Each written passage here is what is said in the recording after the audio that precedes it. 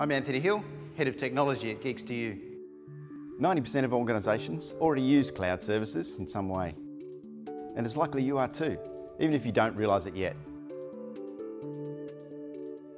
Email services like Gmail and Outlook are essentially cloud computing as they're on a remote server and we're simply accessing them via the web.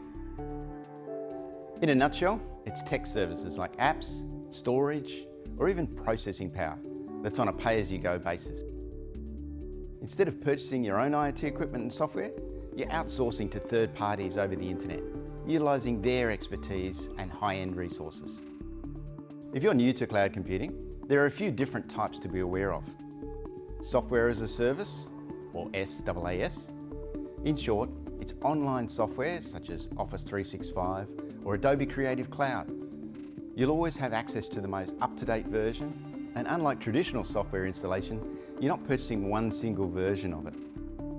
Platform as a Service, or PaaS. This is all about helping businesses build apps.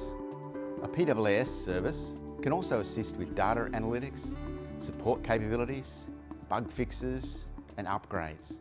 Even a small home-based business can seem like a big multinational with PaaS.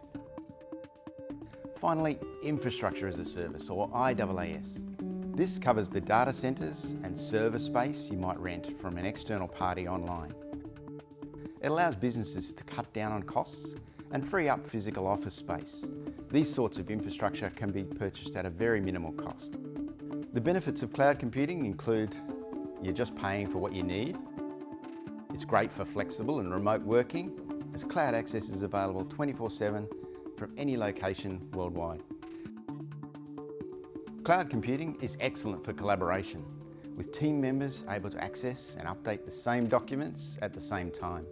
Finally, don't be alarmed about the safety of cloud computing. While we'd recommend using a major provider to avoid the risk of losing your data, most cloud computing is very safe. Security is very important to these companies. Rest assured, they've always got the latest in online security software. For more information, visit Geeks2U or Officeworks online or pop into a store near you to talk to one of our advisors.